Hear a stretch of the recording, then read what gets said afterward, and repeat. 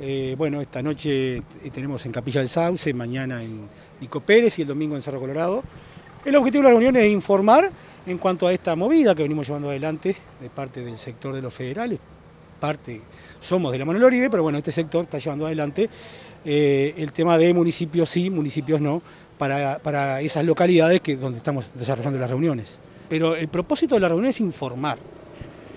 por qué el municipio sí o, por qué el municipio no y que bueno, que cada vecino tome su, opinión, pero con, información de primera mano para ver si eh, está de acuerdo o está en desacuerdo con el tema de, los municipios. Así que en ese sentido es un, mano a mano con los vecinos, si bien ya hemos charlado, hemos tenido conversaciones informales, pero bueno, esta reunión es, abierta, no es, no es ni siquiera es partidaria, es abierta para informar a los vecinos y bueno, y escucharlos.